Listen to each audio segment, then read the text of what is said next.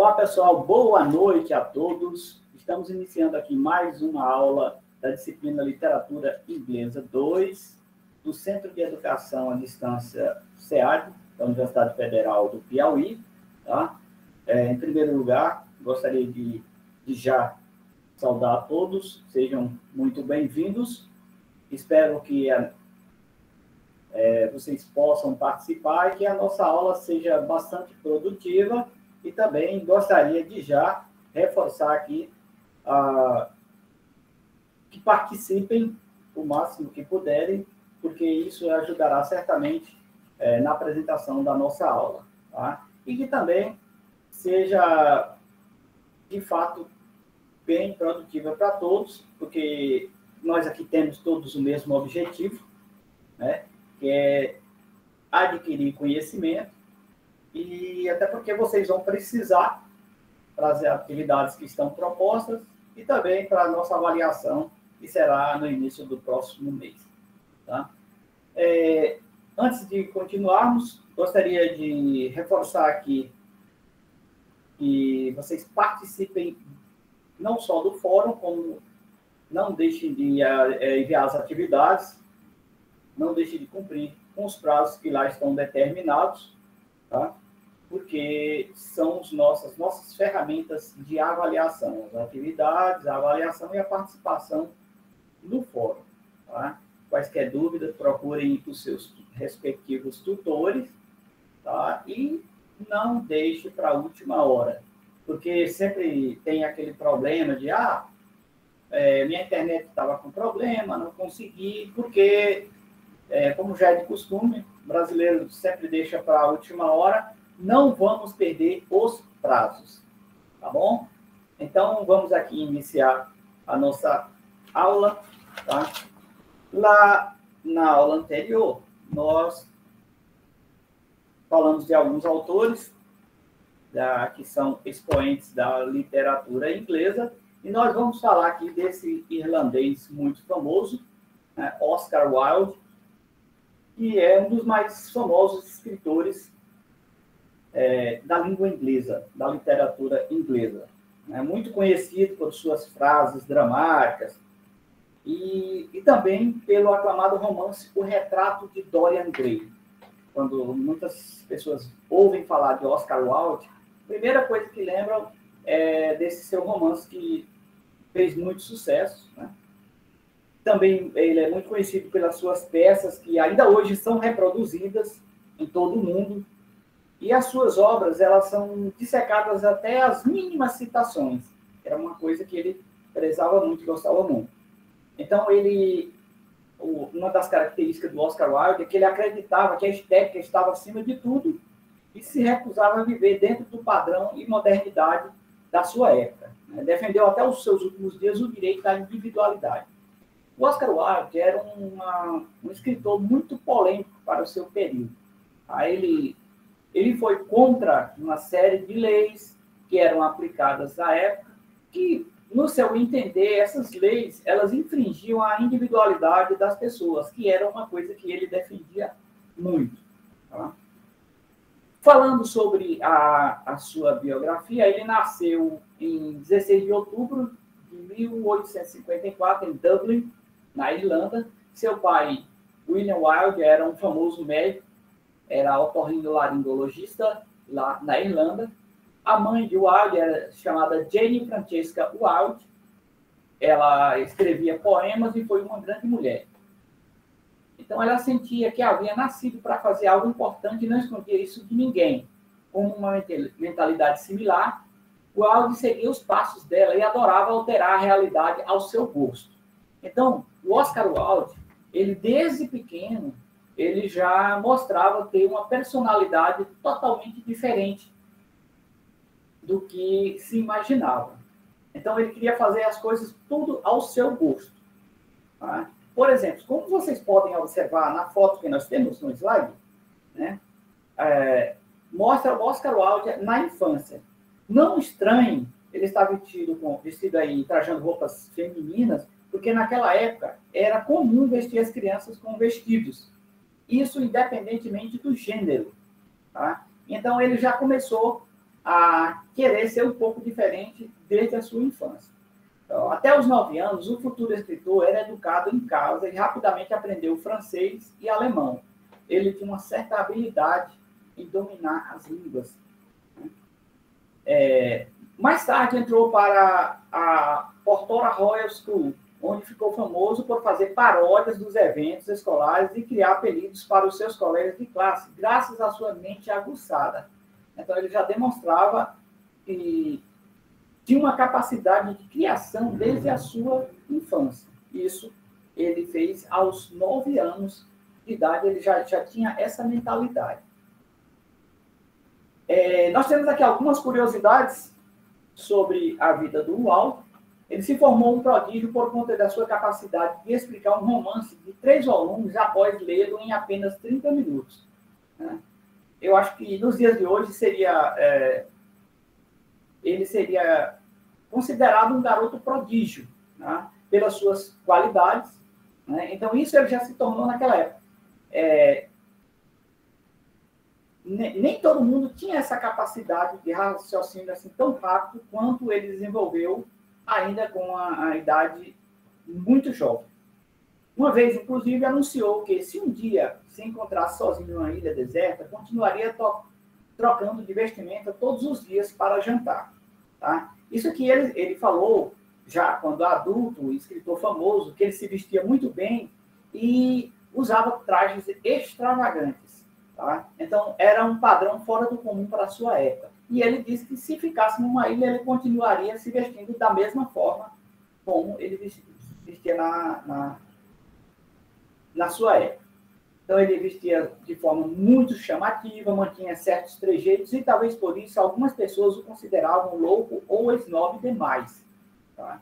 Então, era, era o jeito dele, era uma característica de si. Né? Quando tinha de passar pela alfândega, dizia que não tinha nada a declarar, exceto sua genialidade. Ele era muito extrovertido e era cheio de, é, de citações. Tá? As citações deles eram, elas eram uma maneira esporádica de retratar o que ele pensava. Tá? Por isso que nós, se você for pesquisar, vocês vão encontrar muitas citações interessantíssimas do Oscar Wilde. Nessa aqui ele diz, ao viver é a coisa mais rara do mundo, a maioria das pessoas apenas existe. O que, que ele quis dizer com isso? Né? Que, as, que muitas pessoas hoje levam a vida simplesmente por existir e não sabem aproveitar da vida. Tá? E nós temos uma outra citação. É, essa mesma citação, ela está aí embaixo. Be yourself. Everyone else is a red chicken. Tá? Então, traduzindo para português, seja você mesmo. Né? Algumas pessoas simplesmente é, existem. Tá? Então, ele, ele gostava de viver a vida de forma intensa. Era uma característica do, do Aula. É, eu vou citar aqui mais algumas curiosidades sobre a sua vida, né? É, após uma hora de leitura, ele poderia recontar cenas específicas e os diálogos mais importantes da história. Antes das provas, lá onde ele estudava, não decorava nada forçadamente, lia os materiais obrigatórios por puro prazer. Então, ele se formou com honras por ser uma pessoa muito é, é, muito inteligente para o seu tempo. Quando ele entrou para o Trinity College, desenvolveu a sua capacidade espetacular de aprender línguas antigas. Foi nessa época também que começou a se interessar pelo esteticismo, que foi o movimento pelo qual ele se destacou no período. Então, era um movimento artístico cujos representantes acreditavam que os valores estéticos estavam acima de, dos temas sociais.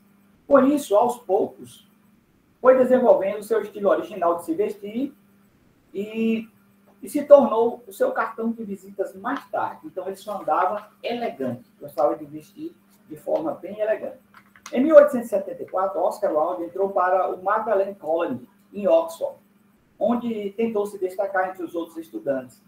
Andava com ternos em tweed e um tamanho maior que os de seus colegas. Utilizava chapéus com bordas curvadas que somente os mais velhos usavam. Então, ele, ele era o cara diferentão de todos. Né? O Oscar Wilde, ele queria ser não só o famoso, mas queria ser diferente em tudo. E ainda na escola, o Aldo gostava camisetas escarlates e roxas, em vez dos habituais livros usados por todos os outros estudantes, preferia encontrar as edições requintadas de maior porte. Em Oxford, começou a dar mais importância às roupas.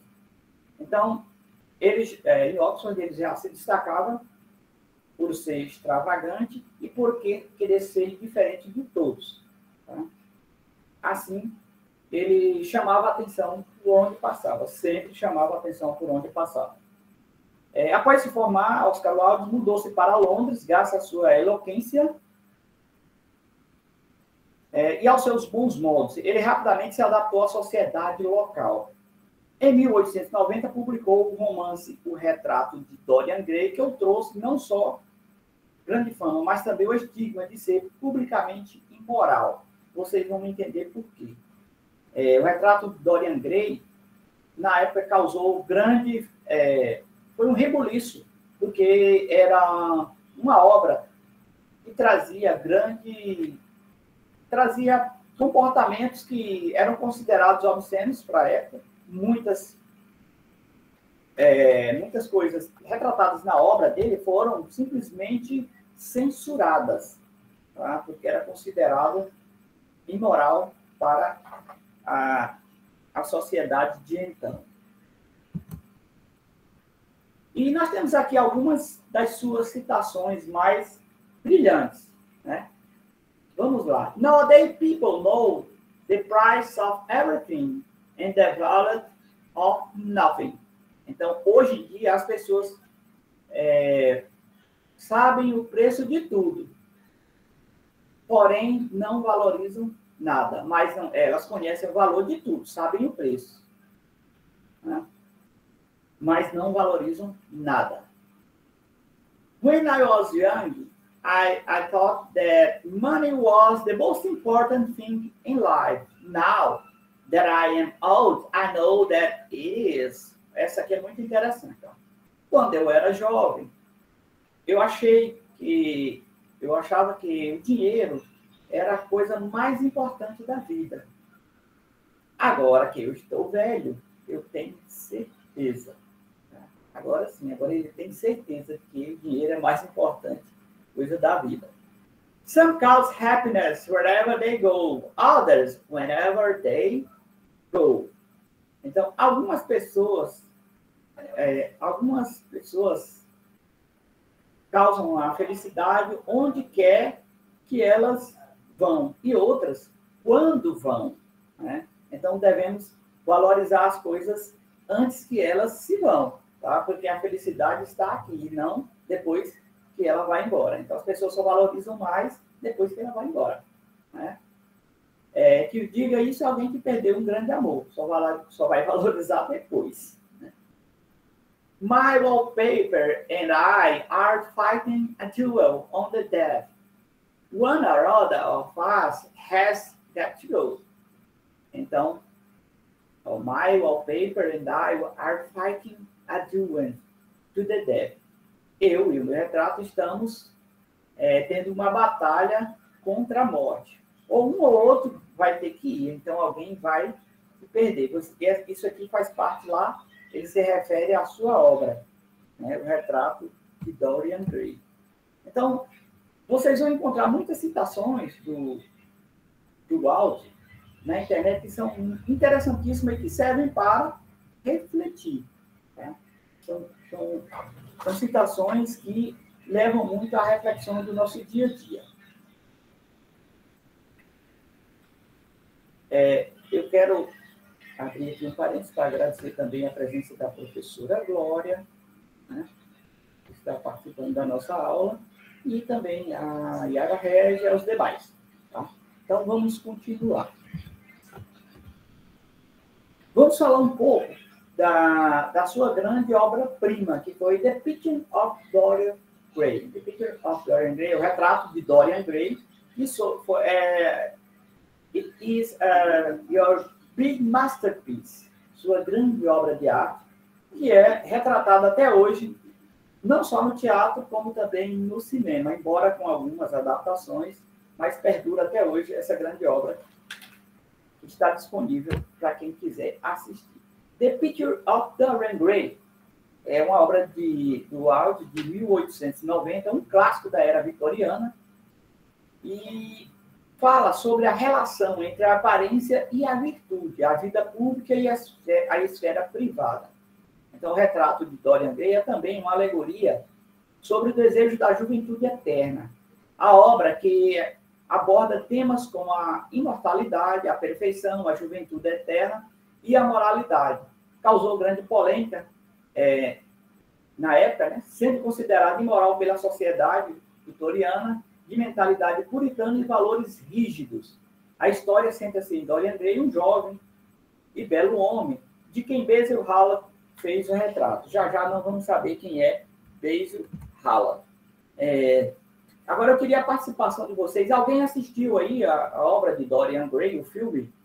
Quando eu digo filme, pessoal, é porque você assistindo o filme, é, o filme ele mostra de forma mais resumida, mais sucinta, Entretanto, não deixa de ter um grande aproveitamento do que é mostrado no filme.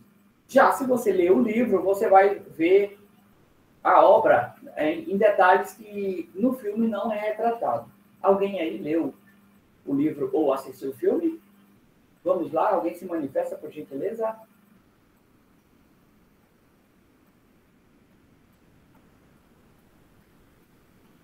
Bom, ninguém se manifestou.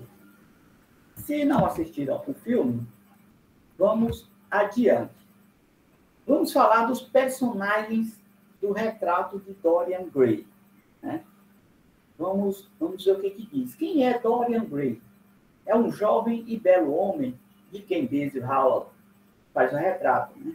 Esse, é, ao apresentá-lo a Lord Henry Wotton, um aristocrata inteligente, culto, e, na sua opinião, a juventude e a beleza são os aspectos mais importantes da vida, que deveriam ser usufruídos é, de forma plena. Ele se entrega a, a cada prazer, moral ou imoral, não importa para ele, onde esta vida finalmente o leva à morte. Né? Então, o Dorian Gray é o personagem central ou protagonista da obra. Ele é o, o protagonista. Assim, antes de dar continuidade, eu, eu gostaria de falar qual a, a principal temática né, do, do, do filme. É, é, lá fala do esteticismo, como a gente explicou aqui, a sua relação conceitual para viver uma vida dupla. Né? Vocês vão entender por quê. Ao longo da história, a narrativa de sexologia apresenta o esteticismo como abstração absurda, que decepciona mais do que dignifica o conceito de beleza. Né? Então, tudo está voltado para o esteticismo. Inclusive, o, Dorian, o Oscar Wilde, ele é conhecido como o pai da estética. O pai da estética. Porque lá desde a era vitoriana e bem antes também, já se é, algumas pessoas já mostravam tendência a essa concepção de valorizar a estética. E como isso era uma coisa meio que proibida para o período de então, para a sociedade da época vitoriana, é, esse comportamento ele era de certa forma um pouco que proibido, era considerado como um comportamento obsceno, mas o Oscar Wilde ele resolveu enfrentar as leis, desafiou as leis da época e ele se travestia da forma que era retratada no seu, na sua obra. Né? Então, o Dorian Gray, ele levava todos, o, personagem retratava tudo que sentia o autor da obra. E como foi que começou essa história do Dorian Gray? Basil Howard, ou Basílio, como podemos traduzir, é traduzido no português, Basílio Howard, é, é um pintor talentoso, embora de mentalidade um tanto quanto é, convencional. Seu amor por Dorian muda a forma como ele vê a arte. Na verdade, define uma nova escola de expressão para ele. O retrato de Basílio ou de Basil, de Dorian, marca uma nova fase na sua carreira. uma vez que ele pintou Dorian como ele realmente é. No entanto, ele tem que ter colocado muito de si mesmo no trabalho. Então, o Basil Hall, o Basílio, como queiram chamar, ele se tornou amigo do. Ele era amigo do, do Dorian Gray, lá na obra, e o Dorian Gray era muito, tipo assim, narcisista. Né? Ele era narcisista, ele prezava pela beleza e queria ser o cara perfeito. Daí ele pediu ao Basil para pintar um retrato dele mesmo. Né? Então, o retrato ficou tão perfeito, tão perfeito, que depois o, o, o Lord Wotton, viu, quando ele viu o retrato que estava igualzinho ao Dorian, ele se apaixonou pelo Dorian. Né? E acontece que o Dorian também gostou do retrato. E ele pediu que esse retrato nunca ficasse. Ele queria, ele desejou que esse retrato nunca ficasse. É, que não ficasse velho. Né? Que ele, Dorian, não, se, não ficasse velho. Então ele fez um, um pacto né, com o demônio, pedindo que. Qual era o pacto dele? Ele pedia que se tornasse jovem para sempre e que toda a sua velhice atribuída a ele fosse é, repassada para sua, o seu retrato, pintado aí pelo Basil Hall. E isso aí se tornou uma tragédia. Vamos ver o que, que aconteceu. Quem era Lord Henry Wotton? Tá? A Lord Henry Wotton, vocês podem chamar Henry ou Henry. Né? Henry, geralmente no francês pronuncia-se Henry e Henry na, na língua inglesa. Então, Lord Henry Wotton, quem era ele?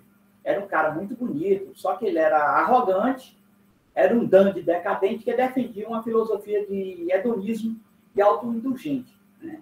Dandy quer dizer uma pessoa, é, vamos traduzir aqui para a nossa realidade, era um playboy, né? um cara que só vivia desfrutando das coisas boas.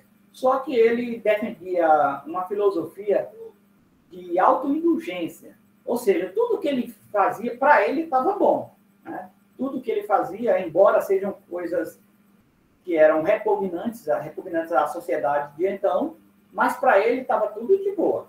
Né? Inicialmente, amigo de Basil, ele o negligencia pela beleza de Dorian. O, o Lord Henry, ele era amigo do, do Basílio. Né? Só que quando o Basílio apresentou o Dorian, aí ele se encantou pelo Dorian, apesar dele ser casado. Olha só onde vai desembocar uh, essa história. E o Dorian, ele, como ele era um cara muito charmoso, bonito, era o galã da época, se vestia muito bem, né? ele se apaixonou pela Sibyl Vane.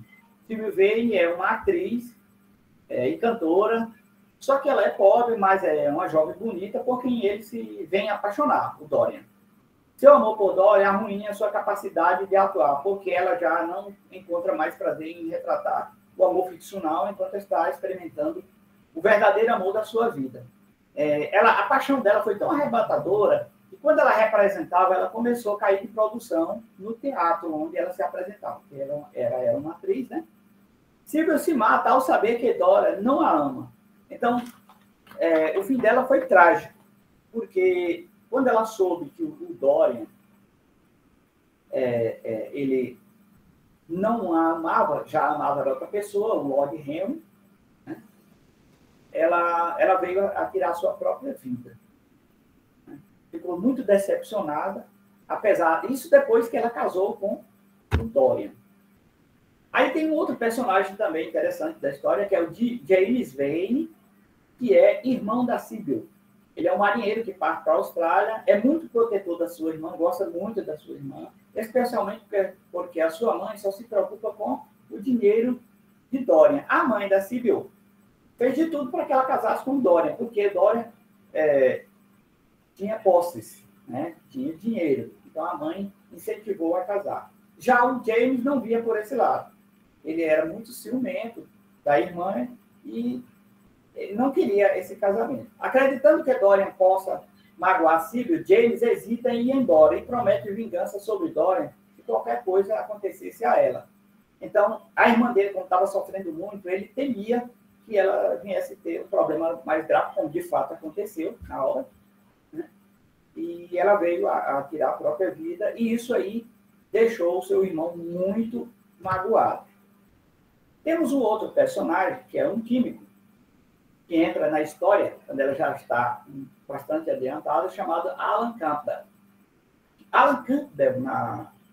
esse personagem, é um químico e amigo por um tempo de Dorian, que terminou sua amizade quando a reputação do libertino Dorian desvalorizou a tal amizade. Dorian chantageia Alan em destruir o corpo assassinado de Basil Howell através de um processo químico e também com fogo. Campbell depois atira em si mesmo. Então vamos lá. Por que que, por que, que ele chamou esse químico? Porque o Dorian, quando ele percebe o que está acontecendo na sua vida, ele pediu o Basílio para que desfizesse o, o, o, que tinha acontecido com o retrato, porque o Dorian ele continuava sempre jovem e o seu retrato é quem envelhecia. Né? O retrato é quem, quem ficava velho. Ah, deixa eu dar uma pausa aqui para falar aqui sobre o comentário da Iara. Ela diz aqui, ó, é, me lembra a arte, pela arte dos parnasianistas, né? E, cujo objetivo era voltado ao prazer da contemplação e à estética. É, realmente tem muita, muita semelhança. Então, isso foi descoberto mais pelo. pelo descoberto, melhor, retratado mais pelo Oscar Wilde, que, na, na verdade, pessoal, é, é, o retrato de Dorian Gray representa a vida real de como o Oscar Wilde ele vivia. Tá? É, então, voltando lá na história do Basil, o Dorian já tinha se arrependido do que tinha feito, porque o retrato continuava ficando velho e ele ficando mais novo. Tá? Então, o Basil não tinha mais o que fazer, e ele assassinou o Basil. Né? Ele assassinou o Basil, e o... ele chamou um químico para desfazer todo o processo. Esse Alan Campbell, ele chantageou, forçou, ou seja, ele foi coagido a, a, a fazer isso. Só que ele, e aí ele viu ele pediu para o Alan Campbell dar fim no corpo do beijo, né? porque para não deixar provas, porque quem tinha matado ele era o próprio Dorian. E aí ele chantageou tanto ele para destruir o corpo, a prova né, do corpo, e o Alan Campbell ficou tão é, ressentido né, ao ver aquilo ali que ele tirou também a própria vida. Ele se matou, o Alan Campbell. Então, assim, é, é, é uma narrativa onde há uma onisciência neutra, a narrativa do retrato de Dorian Gray, onde ele, ele narra a sua própria existência, a sua própria vida, o seu jeito de ser. Então, é uma história muito. É, muita gente não gosta, porque ela é uma história muito. É um terror assim, muito a sério. Só que ela é uma obra atraente. Aí nós temos também um outro personagem, a esposa do Lord Henry Wotton, o Lord Henry Wotton, que é a, a senhora Vitória. Né? Ela aparece apenas uma vez no romance, cumprimentando o Dorian, mas ela também é, é admiradora dele. É, descrita como uma mulher desarrumada e totalmente romântica ela queria ser amada, então, quando vê que seu marido está muito mais próximo de Dória, sua necessidade de atenção fica mais, mais forte. É uma pessoa, assim, muito vaidosa. E ela não, a princípio, ela não, des, não desconfia tanto da relação do marido dela com o Dorian, uma das personagens aí também da, do retrato de Dorian Gray. Eu espero, pessoal, que vocês possam assistir o filme para que vocês possam entender melhor é, aonde é que se encaixa o autor e o personagem. Né? O autor que viveu todo o esplendor da sua época, mostrando um caráter totalmente diferente do que era permitido no período vitoriano, tá? e ele simplesmente enfrentou as leis, né? Por isso e pagou um alto preço. Ele passou, hum, passou muito tempo na prisão, justamente pelo comportamento que ele mostrava na sociedade. Né? Foi acusado de homossexualismo e por isso ele passou muito tempo preso, o Oscar Wilde. Pagou muito caro por isso. Só que após ele sair da prisão, ele continuou a sua vida como artista, mas ele mudou, foi para a Itália e começou a publicar outras obras também. Isso além, é, depois que ele saiu da prisão. É, algum questionamento aí, pessoal? Sobre The Picture of Dorian Gray? Eu citei aqui apenas alguns personagens, mas existem diversos outros personagens que aparecem na obra. Tá? Os personagens, quando, quando isso é feito, quando é adaptado para o filme, há muitas características elas, elas são colocadas nesses personagens. Isso é a título de arranjo para que o, o filme, ou até mesmo uma peça teatral, possa ela, ganhar mais notoriedade e possa se tornar mais chamativa. Tá? Mas o foco central da obra é esse aí. Então, let's go ahead. Vamos falar aqui de um outro personagem. É, do, esse aqui já é do período eduardiano, né? o George Bernard Shaw. Né? Temos aí uma citação, citação dele, vamos falar um pouco sobre a sua biografia. Be, uh, beware of false knowledge. It is more dangerous than ignorance. Né? Então, tenhamos cuidado com o falso conhecimento. Então, ele é pior, ele é mais perigoso do que a ignorância. George Bernard Shaw. Então, quem é John, é, George Bernard Shaw? Ele nasceu em Dublin, na Irlanda, no dia 26 de julho de 56, aliás, de 1856, perdão. Com 15 anos, estudava pintura no Museu de Dublin e trabalhava em uma agência imobiliária para ajudar nas despesas da casa. Com 20 anos, deixou a casa do pai e mudou-se para Londres. Né? Mudou-se para Londres. Escreveu três romances entre 1700, 1878 e 1881 chamados Imaturidade, O Nó Irracional e O Amor entre Artistas. Em 1882, descreve a profissão de Castle Byron e aderiu ao socialismo inglês.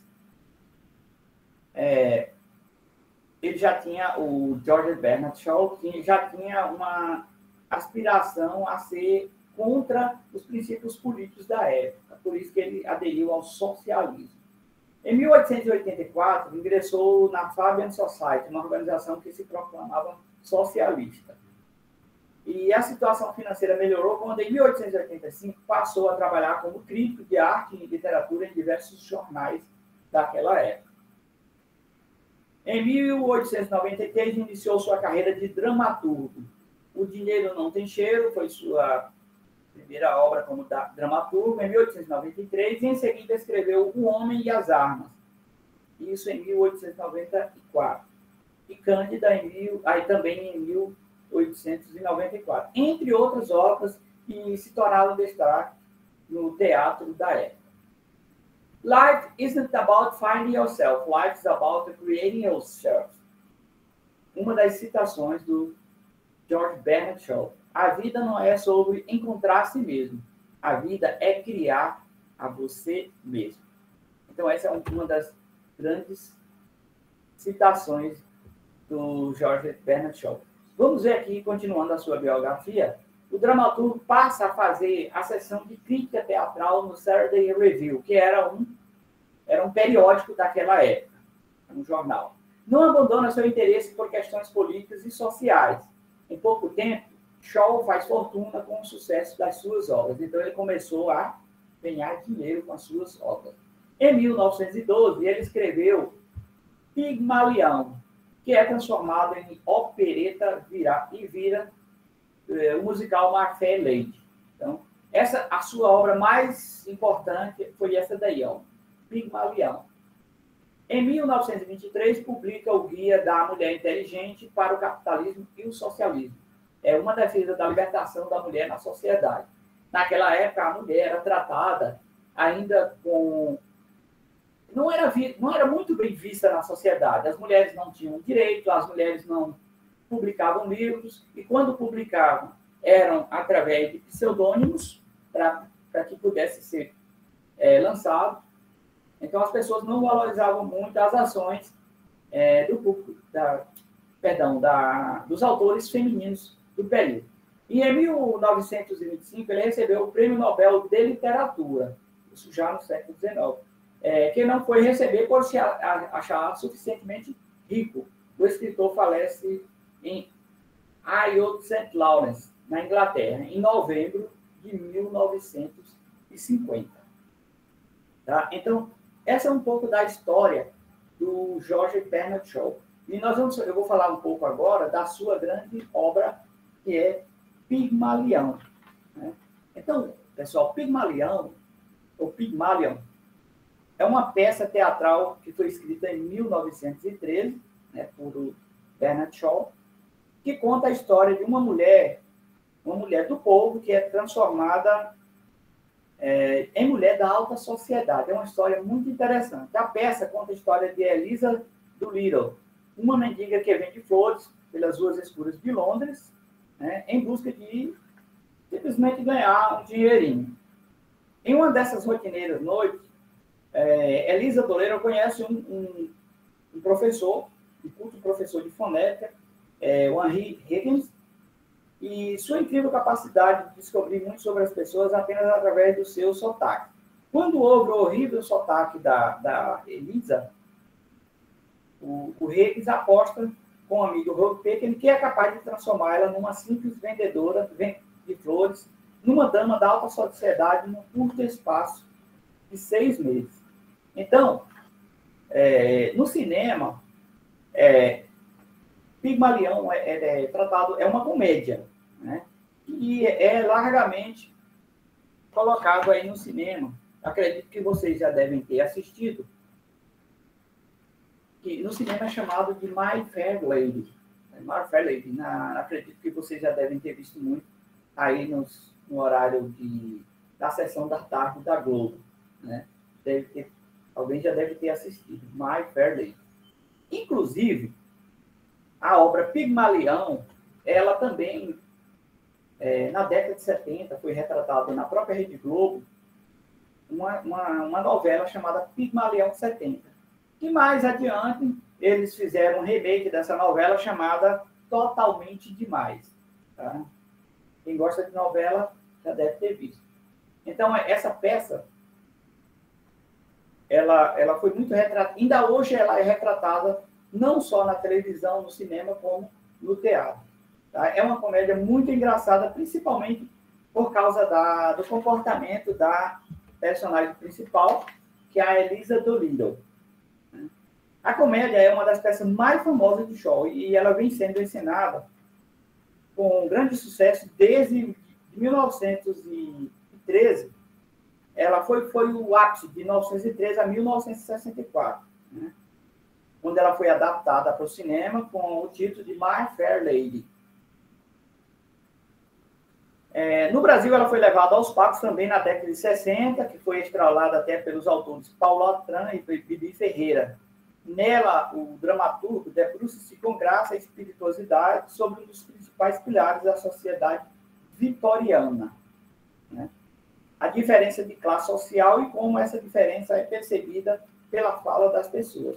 Então, é, é, o retrato, o que é retratado na obra, é, o foco principal é mostrar a diferença das classes sociais na época vitoriana. Tá?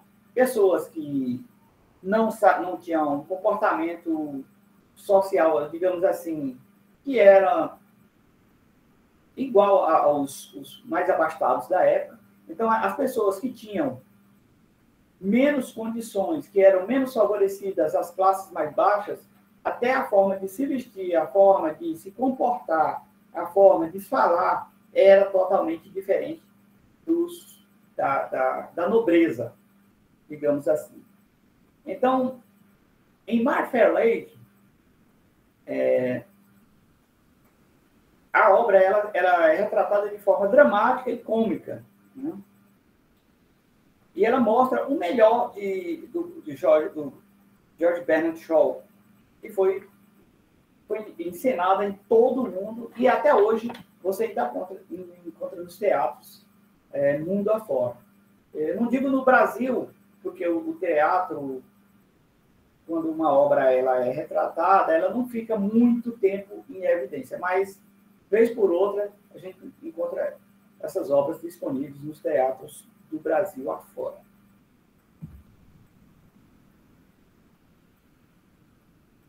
Aí nós passamos agora, pessoal, ao período georgiano. Do período georgiano até o período mais. é o período moderno. Que, que ocorreu no período georgiano? Em 1910, assumiu o poder o rei Jorge V, que era neto da rainha Vitória, iniciando aí o chamado período georgiano. Por isso que ele é chamado dessa forma. Muitas mudanças foram implantadas em relação à escrita. Houve também uma maior liberdade nos versos, na poesia, uma expressão mais explícita nos romances em geral. Alguns escritores da época foram influenciados, influenciados pela Primeira e Segunda Guerra Mundial. Então, essa época georgiana, como nós conhecemos, ela refere-se ao período da história britânica que estabeleceu desde os anos de 1714 a 1830 e reinou pelos quatro reis da Casa de Hanover, consecutivos, todos chamados de Geórgia, por isso que é chamado de período georgiano. Né? Então, quais são esses, esses reis que eram da Casa de Hanover, chamados George I, George II, George III e George IV? É, então, a, essa época, pessoal, alguns historiadores, eles costumam estender esse período né, até mais adiante, para incluir curto reinado do Guilherme IV, que terminou com sua morte em 1837. Então, a era georgiana, ela foi precedida pelo período dos Stuarts e seguiu pela era vitoriana. Nesse período georgiano, que, que nós tivemos de tão importante? Né? Nós tivemos aí, durante todo esse período, tivemos a Revolução Industrial. O que, que foi a Revolução, Industrial? Todos vocês já, já conhecem que a, a Grã-Bretanha passou por muitas mudanças notáveis durante a era georgiana. A Revolução Industrial foi uma delas, né? Teve também a abolição do comércio, do comércio de escravo e a expansão do Império Britânico ocorreram durante esse período. E por isso o termo georgiano é normalmente usado para contexto da história social e da arquitetura também. Né? Foi um período onde houve um grande destaque é, na Inglaterra de então, no período, é, quando a gente fala de arquitetura e também das artes. Vamos ver onde é que entra aí a arquitetura. Tá? A arquitetura, é, caros alunos, vocês podem ver que é um período onde houve grande destaque no modo de construir. As casas, elas, as casas, ou melhor, todas as construções, elas tiveram esse estilo clássico, né? De mil até até meados de 1990, 1900 também, é, estendeu esse período arquitetônico da período georgiano. Era um estilo neogótico que era a arquitetura chamada da moda do período. Nas artes, nós tivemos destaques para quê? Para as artes sacras, né? pinturas também no estilo gótico e sacro, sagrado. Né? É, no século XVIII, o realismo estava no seu melhor, foi o auge do realismo do período georgiano. Escritores escreviam sobre é, pessoas comuns e pintores criavam arte que refletiu a realidade da época. Neoclassicismo e romantismo foram os dois estilos que os pintores da era georgiana é, tomaram emprestado dos pintores anteriores. anteriores. É, então, o romantismo era, era retratado através de pinturas. Né? Essas pinturas, elas mostravam não só o cotidiano de pessoas, como também é, retratava o romantismo, os chamados autorretratos, ou retratos que eram pintados é, por outros pintores e também, às vezes, pintavam o próprio retrato. É, aqui está um exemplo grande de romantismo, onde as pessoas gostavam de ser retratadas e o seu cotidiano para mostrar também a, a, sua nobreza. No que diz respeito à sua contribuição, eles é, fundiram com a realidade da sua própria época para criar o seu trabalho. Então, era muito comum ver os senhores da, da, da época, né, aqueles, os nobres, serem retratados e também a, as paisagens. Quais foram os acontecimentos mais importantes do período georgiano? Né? Nós temos aqui uma série de, de períodos. É, em 1714, eu vou citar só aqui alguns. Existem várias, a cada ano, tiveram é, fatos importantes que aconteceram durante esse período. Eu elenquei aqui apenas os mais que eu achei assim, de maior relevância, né, para que não possa se estender muito a aula. Após a morte da sua prima em segundo grau, a rainha Ana, é, Jorge, a rainha Ana, Jorge Luiz, sucede como rei Jorge da Grã-Bretanha. Isso marca o início do reinado da Casa de Hanover, no, no Reino Unido. É aqui onde entra aqueles quatro Jorges, né? quatro reinados chamados Jorge. É, o Jorge Luiz, que passou a ser o rei, é, por que, que ele se passou a chamar Jorge I? Era comum, aliás, ainda é comum, cada reino, quando muda, quando alguém assume o trono, ele vai escolher um nome. Né? Da mesma forma que na Igreja Católica, quando assume o um novo Papa, o Papa ele vai, o bispo que assume o papado, ele escolhe um nome para que ele possa ser chamado durante todo o seu papado. Dessa forma, os reis também eles escolhiam um nome para que fosse colocado. Tá? Então, é, Jorge Luiz passou a ser chamado de Jorge I da Grã-Bretanha. Então, isso marcou aí o reinado da Casa de Hanover, lá no Reino Unido. Em 1727, aí falece o Jorge I e o seu filho ascende ao trono com o nome de Jorge II. Em 1760, o Jorge II morre e, por conseguinte, o seu neto ascende ao trono com Jorge III, uma vez que seu pai, Frederico, tinha falecido em março de 1751. Então, quem passou a assumir foi o neto, chamado Jorge III.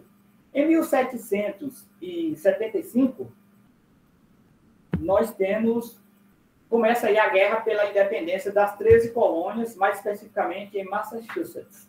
As 13 colônias que eu me refiro são as colônias que hoje são os Estados Unidos. Né? Lá no princípio eram apenas 13 colônias e elas queriam se tornar independentes da, da Grã-Bretanha. Então começou um período aí de luta pela independência. Em 1776, as três, as três colônias da América do Norte declaram a sua independência da coroa britânica e do parlamento britânico. Então, cortou-se o vínculo com eh, a Inglaterra, ou melhor, com a Grã-Bretanha. E em 1781, o exército britânico na América, sob o comando de Lord Cornwallis, rende-se a George Washington após a sua derrota em Yorktown, na Virgínia, em isso em, em outubro de 1781. É, aí foi o final da, da batalha entre os ingleses e os então americanos, né, que lutavam pela sua independência, isso em 1781. E, continuando, em 1783, a Grã-Bretanha reconhece formalmente a independência dos três estados americanos. É, esse reconhecimento foi um encontro que teve também em 1783, foi assinado em Paris.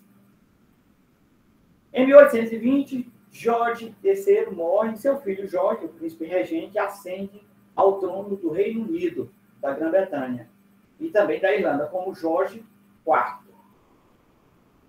Em 1830, Jorge IV morre o que marca o fim da era georgiana da Casa de Hanover. Portanto, os quatro reis. Chegamos no Jorge IV. Né? É, porém, outros estenderam essa época até o final do curto reinado do seu irmão, o príncipe Guilherme, do Duque de Clarence, que esse ascende ao trono como Guilherme IV. Tá? Então, alguns historiadores estenderam esse período dos quatro reinados da Casa de Hanover até o reinado de Guilherme IV. E, por fim, em 1837, morre aí Guilherme IV, marcando assim o fim da era georgiana, ou do período georgiano, como nós chamamos. A sua sobrinha e último membro da Casa de Hanover, a Rainha Vitória, sucede-o após a sua morte. O seu filho Alberto Eduardo, príncipe de Gales, sucede como Eduardo VII. E aí já se torna o período é, eduardiano. Ah, na, nossa, na, na, na, próxima aula, pessoal, a gente vai encerrar aqui. Na, na próxima aula, nós vamos falar sobre a literatura propriamente dita. Aí a gente vai mais a fundo de alguns escritores do período georgiano, onde se destaca aí é, James Joyce, a Virginia Woolf e também D.A. Lawrence. É só para citar alguns deles. Na nossa próxima aula a gente vai falar mais a fundo quem foi Virginia Woolf, suas principais obras, é, James Joyce e também é, o D.H. Lawrence. São alguns que a gente vai falar. Também também T.S. Eliot. Nós vamos conhecer um pouco mais das suas obras na próxima aula. É, algum questionamento? Vamos lá, pessoal? Lembrem-se de quem não assistiu, volta a recomendar é, assistir lá o filme O Retrato de Dorian Gray, para que vocês possam é, é, responder à, avaliação, às atividades. Tá? Lembrando que a nossa avaliação será em apenas dois dias e em formato de questionário. Tá ok? Então, Paloma, Yara Regia e todos os demais, aí, obrigado aí pela atenção. Espero que na quinta-feira tenhamos a presença de todos vocês e mais os colegas que não participaram. É, posteriormente, o Oswaldo vai colocar a nossa disciplina lá no YouTube para aqueles que não é, não puderam estar aqui presentes virtualmente, né? E vamos falar mais de literatura na próxima quinta-feira, se Deus quiser, tá bom? Uma boa noite a todos e muito obrigado aí para aqueles que participaram.